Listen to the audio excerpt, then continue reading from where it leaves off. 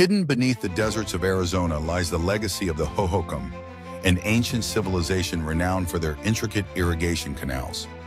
But these canals were more than feats of engineering.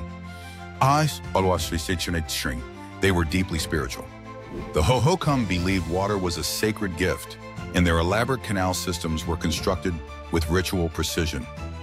Before digging, leaders performed ceremonies to honor the spirits of water and earth, seeking permission and blessings to ensure success.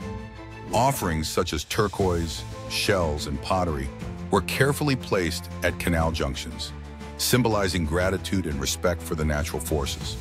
These rituals united the community, blending practical needs with spiritual duty. The canals not only nourished crops, but also served as ceremonial pathways, connecting villages and sacred sites across the landscape. Water distribution was overseen by priests who interpreted omens and ensured harmony between people and the natural world. The Hohokam's reverence for water shaped their society, reminding us that for them, every drop was sacred, every channel a testament to their profound bond with the land and the unseen forces they honored.